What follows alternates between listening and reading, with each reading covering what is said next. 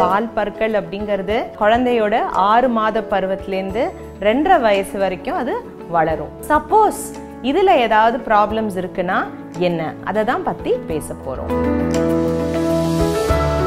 Rosebud painting பண்ண போறோம். பெண்கள் சாய்ஸ் வெள்ளிக்கிழமை காலை பதினொன்று முப்பதுக்கு நமது புதியுகத்தில்.